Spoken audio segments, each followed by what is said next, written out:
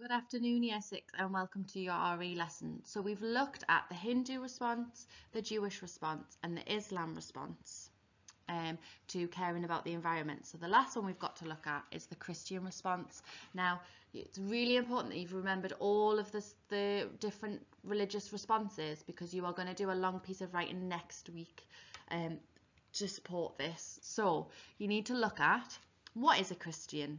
Where do they worship?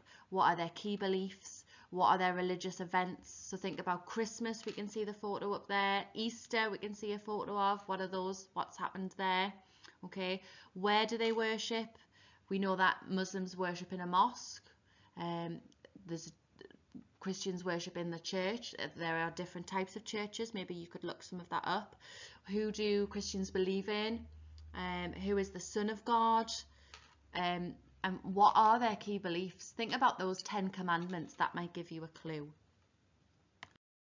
So, Christians have a moral response to care for the world and be guardians. That means look after it, be responsible for it.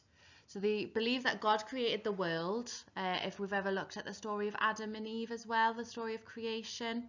Uh, and as followers, Christians should look after the planet and everything in it. So God created the world in six days, so Christian believes, and on the seventh day he rested, which is Sunday, which is called the Sabbath, and that's why it's kept holy.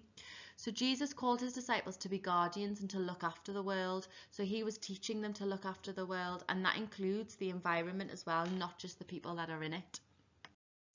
So how do Christians' values affect morals? So patience, goodness, kindness, peace, joy, self-control. These are all things that they try to practice daily.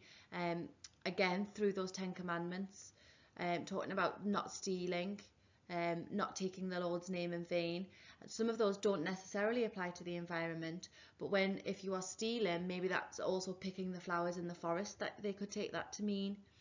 So you need to maybe apply those rules to the environment rather than specifically looking at Christians and if there's written rules about the environment, it might be more that you're looking at how they behave and the consequence of that on the environment. So for example, not stealing, so therefore they're not going to take anything out of nature, so they're not going to pick flowers because that would be taking it away from nature.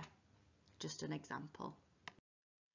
So Pope Francis wrote a prayer for our earth. Um, the prayer's on the clip below and you can watch it carefully and work out the key meaning of that prayer. What is he trying to get to the bottom of? What's he trying to say? Again, remember our key questions about their view about the environment, so always be linking it back to how they treat our world. So you need to be displaying these answers in a way that you see fit. It could be a PowerPoint presentation. You could write a sort of information booklet for us about what you think. You could also write, um, do a mind map or a poster. I don't mind how you present your ideas, but I'd really love to see them. And you can upload them in your assignment section.